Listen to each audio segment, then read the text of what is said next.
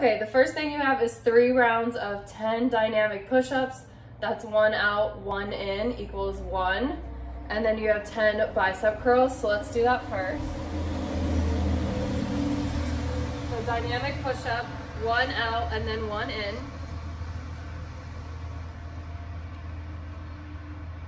And that is one. Then you have 10 dumbbell bicep curls. You can use soup cans, books, a backpack. I'm gonna use my beloved M-Pack. I'm gonna stand sideways so you can see that I'm not using momentum. I've got my glutes engaged, shoulders down and back, strong abs.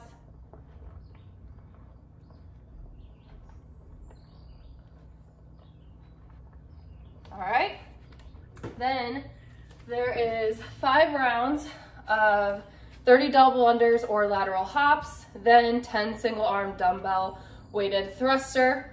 Then you go into another five rounds of 30 double unders or hops, oh, excuse me, or a 22 by 20 shuttle, and then 10 goblet squats. So double unders or lateral hops for me, I don't have a jump rope, so I would lateral hop over my weight. One, two, three, four, like that. And then you've got the single arm dumbbell weighted thruster. So important thing to remember with these is to really keep that center of gravity right down the middle. And you can put your arm out if that helps, I usually do. All the way up to the top. All the way up to the top.